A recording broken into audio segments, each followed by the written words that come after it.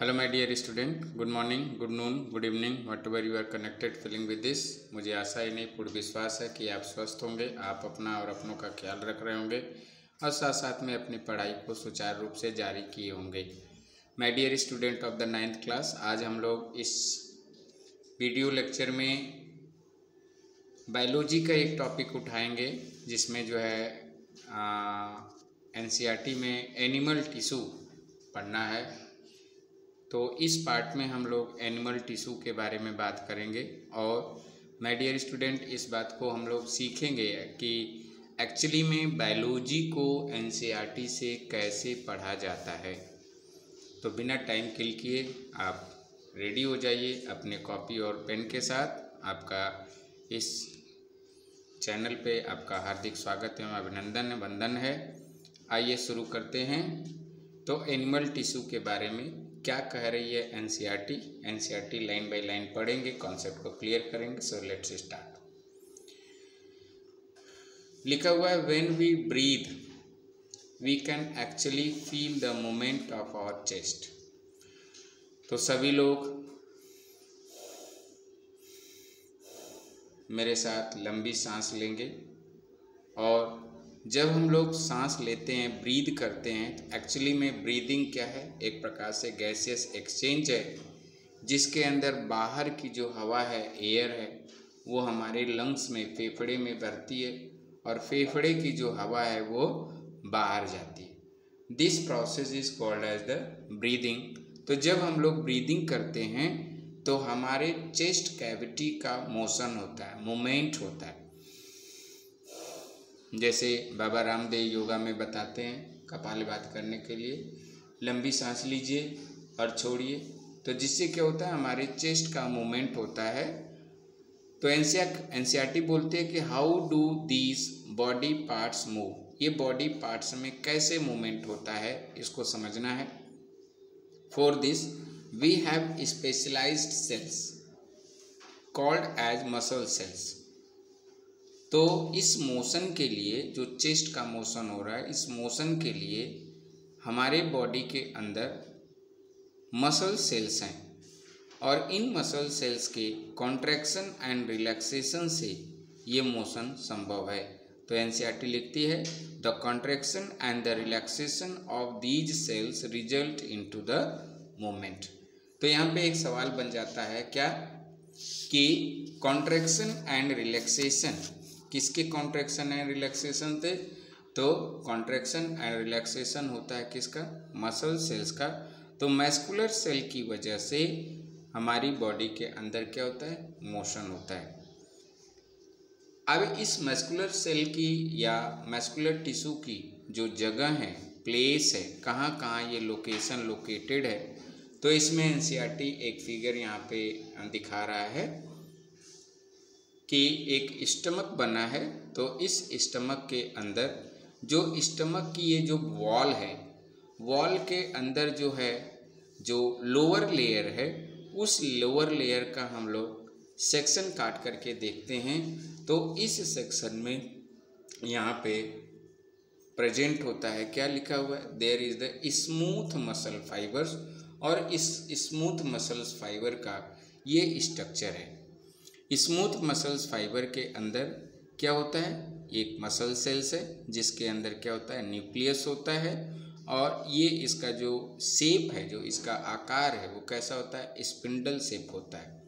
तो इस पूरे पैराग्राफ से हम लोग ये सीखे कि मोशन किस सेल्स की वजह से होता है? मोमेंट किस सेल्स की वजह से होता है? तो याद रखना है कि मोशन और मोमेंट जो है मसल सेल्स की वजह से होता है और मसल्स सेल्स का जो सेप होता है, वो कैसा होता है? स्पिंडल सेप होता है। मसल एक सेल्स है। मसल क्या एक सेल्स है। आइए अगले पैराग्राफ पे हम लोग एन के अगले पैराग्राफ पे बढ़ते हैं। क्या लिख रहा है? During breathing we inhale oxygen जैसा कि हमने कहा इनहेलेशन का मतलब क्या होता है? एयर को बाहर निकालना। एयर को बाहर सॉरी इनहेल का मतलब होता है इनहेल इन मतलब अंदर लेना। तो ऑक्सीजन को अंदर लेना। वेयर डज दिस ऑक्सीजन को अब ये समझना है कि जब हम अंदर ऑक्सीजन लेते हैं तो वो कहाँ पे जाती है? तो लिखा हुआ है आगे कि it is absorbed in the lungs and then it transported to all the body cells through the blood तो ये लंग्स में पहुँचती है और लंग्स में पहुँचने के बाद ब्लड के अंदर एंटर करती है और जहाँ से ये सेल्स के अंदर जो है पहुँच जाती है। Why would cells need the oxygen अब समझना है कि ऑक्सीजन सेल्स को ऑक्सीजन की ज़रूरत क्यों है। The function of the mitochondria we studied earlier provide the clue this question तो हम लोग सेल के अंदर पड़े हुए हैं कि माइट्रोकॉन्डिया होती है और जहाँ पे एक्चुअल जो फ़ूड का जो है डिकम्पोजिशन होता है और जहाँ से लार्ज अमाउंट में एनर्जी का रिलीज़ होता है। तो ये जो डिकम्पोजिशन रिएक्शन है only it will takes place into the mitochondria in the presence of oxygen आगे बढ़ते हैं। The function of mitochondria we studied earlier provide the clue this question तो हम लोग माइट्रोकॉन्डिया पड़े हुए हैं, जहाँ पर कि एनर्जी जो है रिलीज़ होती है और एटीपी की सिंथेसिस होती है।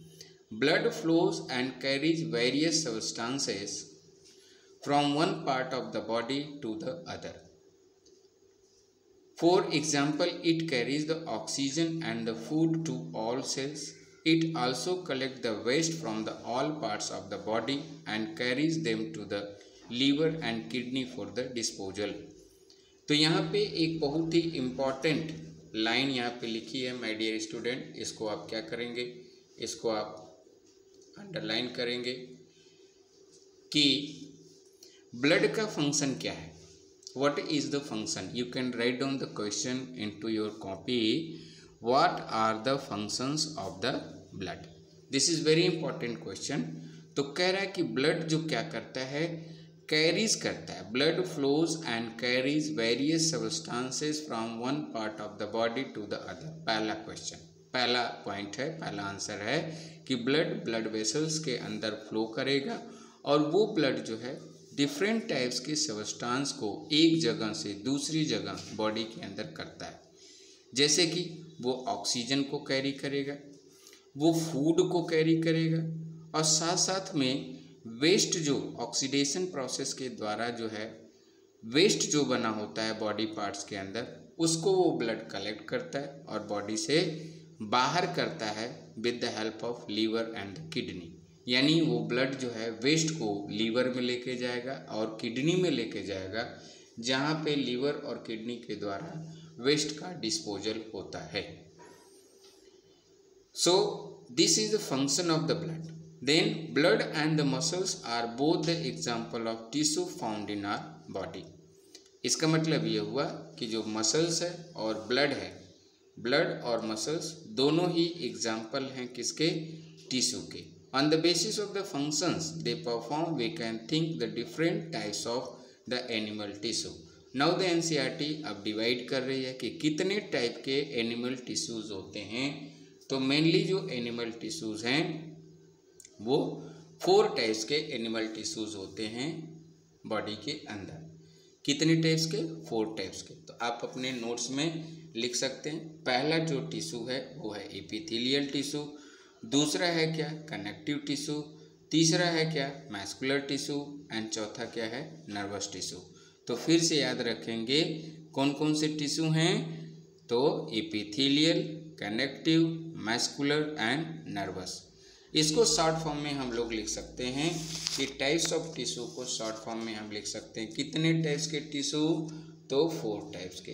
एक हो गया एन एक हो गया एम एक हो गया सी एक हो गया E N M C N M C E N stand for nervous tissue N stand for nervous tissue M stand for muscular tissue कितना? कौन सा? Muscular tissue. C stand for connective tissue C stand for connective tissue and E stand for epithelial tissue तो ये याद करने के लिए मैंने एक फ्रेज बना दिया और इसके बेस पे आप टाइप्स ऑफ़ टिश्यूज़ को लर्न कर सकते हैं और that is what N M C E N M C E ठीक है? ओके तो ये चार टाइप्स के हमारे पास टिश्यू हैं। जैसे जैसे एन डिस्क्राइब कर रही है, वैसे वैसे हम लोग एन के लाइन बाय लाइन को क्लियर करेंगे। एंड माय डियर स्टूडेंट आपको यदि ये वीडियो अच्छी लग रही हो तो आप मन से आगे पढ़ें, पूरी वीडियो को देखें कॉन्सेप्ट को क्लियर करें और अपने दोस्तों के बीच में भी इस प्रकार के मिशन को सपोर्ट करने के लिए इस वीडियो को शेयर और सब्सक्राइब भी करें। तो हमारे पास जो है चार टाइप्स के टिश्यू हो गए एनसीईआरटी के अनुसार वन बाय वन हम लोग पढ़ेंगे। तो पहला यहाँ पे जो टिश्यू मेंशनड है और उसका नाम क्या है? That is the epithelial tissue तो पहली हेडिंग आप लगा लेंगे अपने कॉपी में and that is what epithelial tissue epithelial tissue epithelial tissue epi का मतलब क्या होता है बाबू? तो ईपी का मतलब होता है ऊपर। ऊपर। ईपी का मतलब क्या होता है? ऊपर। थीलियल का मतलब होता है कवरिंग। तो ऊपर की बॉडी कैविटी के अंदर जो भी कवरिंग है, बॉडी के ऊपर जो भी कवरिंग है, वो किसकी बनी होगी? इपीथीलियल टिश्यू की। किसकी बनी होगी? इपीथीलियल टिश्यू की। तो ईपी का मतलब हो गया ऊपर, थीलियल का मतलब हो गया क्या? टिश्यू। तो इसको एक प्रकार से हम लोग कवरिंग टिश्यू के नाम से भी जानते हैं। क्या कहते हैं? So we are calling as a covering tissue आइए देखते हैं एनसीईआरटी क्या कहती है। तो यहाँ पे लिखा हुआ है द कवरिंग और protective tissue into the animal body are epithelial tissues तो माय डियर स्टूडेंट आप अंडरलाइन कर लेंगे, अपने नोटबुक में लिख लेंगे कि इसको कवरिंग टिश्यू या फिर इसको प्रोटेक्टिव टिश्यू के नाम से भी जाना जाता है। क्या नाम जाना जाता है? कवरिंग टिश्यू या फिर इसको प्रोटेक्टिव टिश्यू के नाम से भी आप पुकार सकते हो। ओके तो इपिथीलियल टिश्यू को कवरिंग टिश्यू या फिर प्रोटेक्टिव टिश्यू कहते हैं। Epithelium covers the most organ and the cavity within the body यानी जो ऑर्गन के ऊपर की जो कवरिंग है, जैसे मान लीजिए आपकी बॉडी है। तो बॉडी जो है बॉडी जो है वो चा, चारों तरफ़ से बॉडी की एक कवरिंग होती है बॉडी के ऊपर और इस बॉडी के ऊपर की कवरिंग को क्या बोलते हैं? स्किन बोलते हैं। क्या बोलते हैं? बोलो जल्दी। तो यस स्किन बोलते हैं। तो स्किन क्या है? कवरिंग है। किसकी कवरिंग है? तो it is the covering of the epithelial tissue ये किसकी बनी है? इपिथीलियल टिश्यू की बनी है।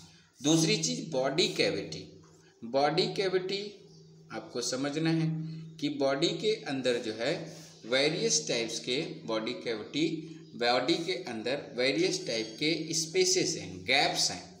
तो इन बॉडी कैविटीज़ के अंदर का जो लाइनिंग है, समझेंगे? इस बॉडी के कैविटी के अंदर की जो लाइनिंग है, ये किसकी बनी है? तो ये बनी है इपीथीलियल टिश्यू की. किसकी बनी है? इपीथीलियल टिश्यू की। तो कहाँ कहाँ इपीथीलियल टिश्यू होगा, इस चीज़ को हम लोग को समझ के चलना है। जल्दीबाजी एकदम नहीं करना। यदि आप बायो में जल्दीबाजी करेंगे, या शॉर्ट नोट बनाएँगे, या क्विक नोट बनाएँगे तो इससे हमको फ़ायदा नहीं होना है। खास करके जो स्टूडेंट मेडिकल साइंस के प्रिपरेशन कर रहे हैं, उनके लिए बायोलॉजी लाइन बाय लाइन पढ़ना और बायोलॉजी के कॉन्सेप्ट को बिल्डअप करना बहुत ही नितान्त ज़रूरी है। क्योंकि फिजिक्स और केमिस्ट्री आपको जो है सिलेक्शन दिलाती है सिलेक्शन दिलाएगी।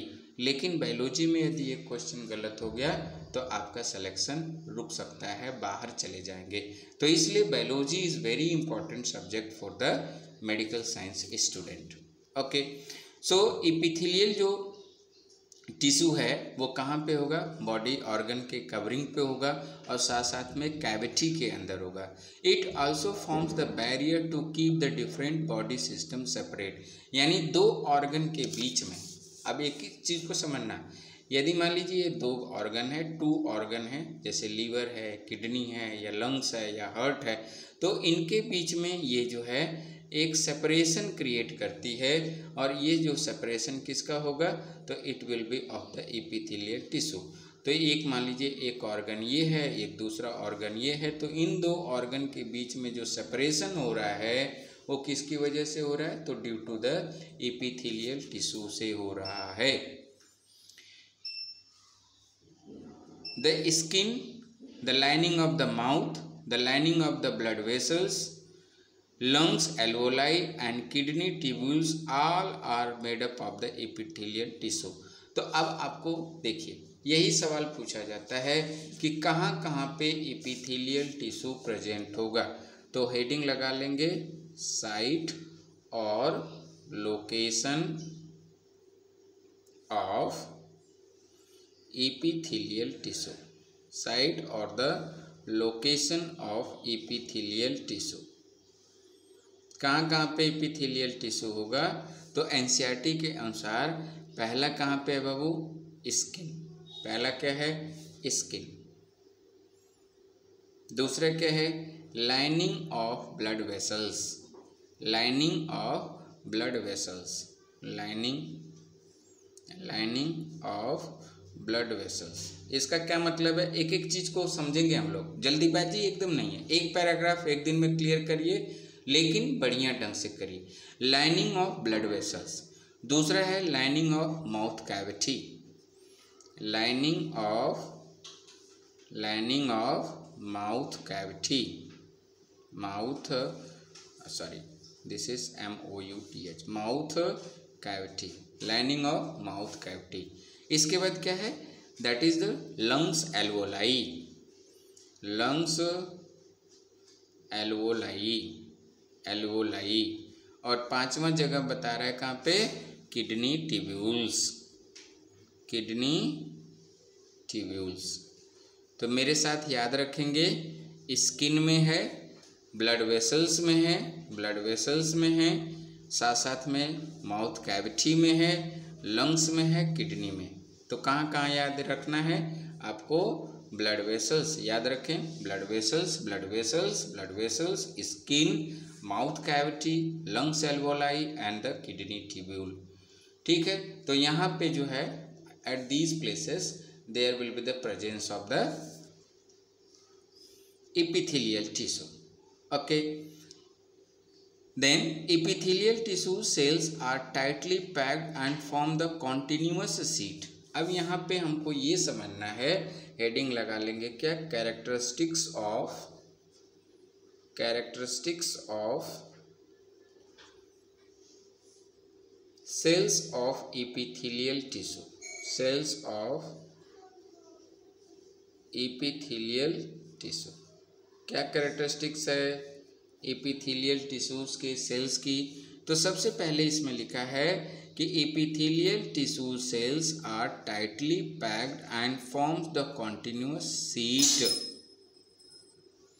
यानी ये जो सेल्स हैं, इनके बीच में ये टाइटली पैक होंगे। इनके बीच में इस तरीके से इनके बीच में बहुत ही लेस या नो गैप होगा। ये जो है सेल्स हैं और इन सेल्स के बीच में बहुत ही स्मॉल टाइटली पैक्ड होंगे और इनके बीच में कोई भी गैप्स नहीं होगा। ये कॉन्टिन्यूस सीट के फॉर्म में एक जैसे देखिए सीट बन गई तो ये कॉन्टिन्यूस सीट के फॉर्म में फॉर्मेशन करते हैं। तो पहला हम लोग कैरेक्टरिस्टिक्स में लिखेंगे क्या? कि इनके ये टाइटली पैक्ड होती हैं। टाइटली पैक्ड होती हैं। दूसरा हम लोग इसमें लिखेंगे कि ये सीट लाइक स्ट्रक्चर बनाती सीट लाइक स्ट्रक्चर बनाती हैं।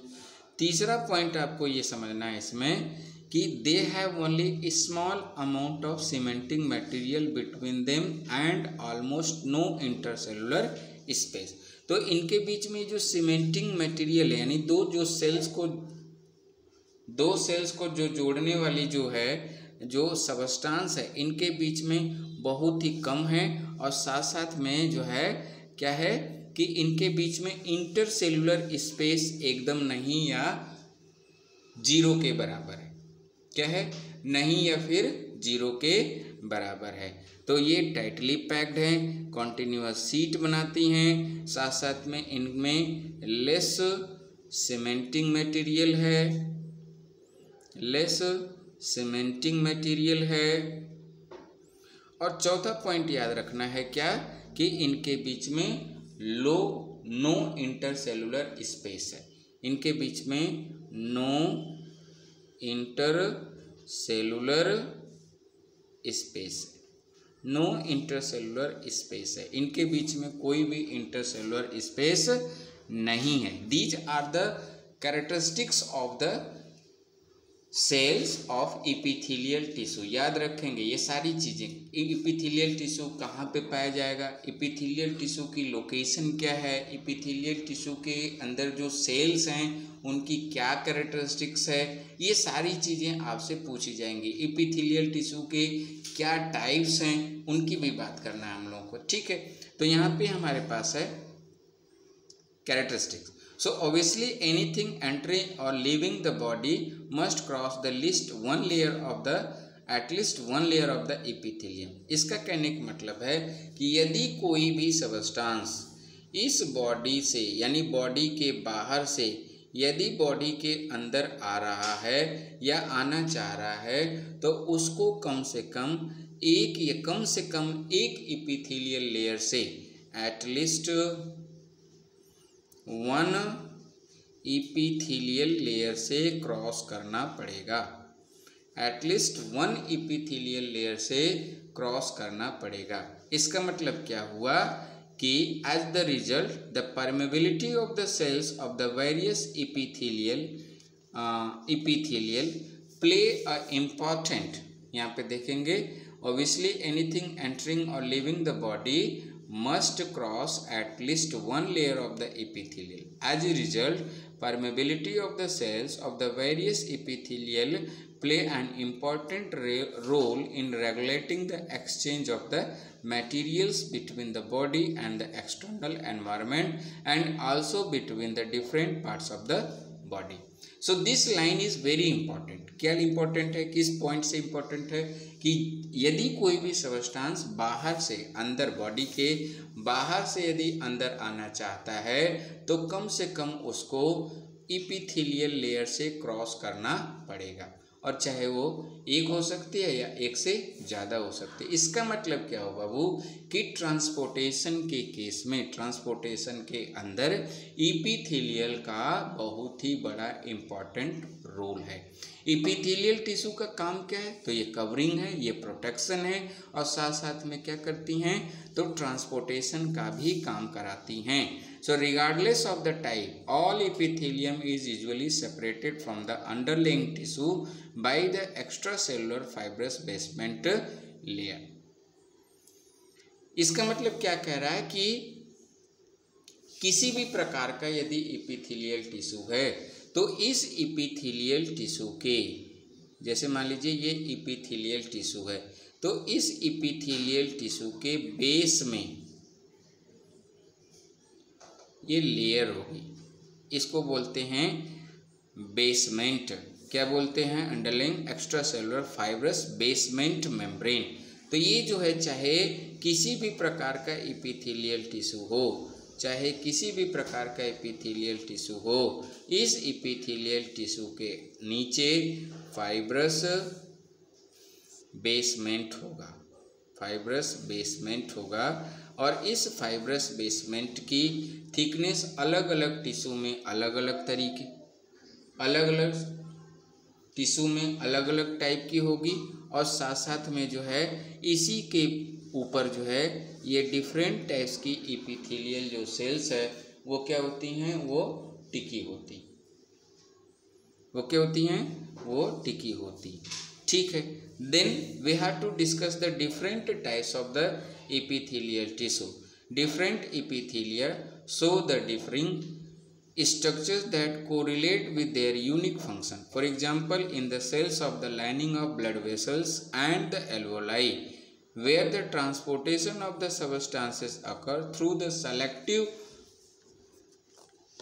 through the selective permeable surface there is the simple flat kind of the epithelium and this is called as the simple squamous epithelium तो माय डियर स्टूडेंट आगे की video class में आगे के session में हम लोग टाइप्स ऑफ़ एपिथीलियम की बात करेंगे कि कितने टाइप्स के एपिथीलियम टिश्यू होते हैं। कितने टाइप्स के टाइप्स ऑफ़ एपिथीलियल टिश्यू को पढ़ेंगे।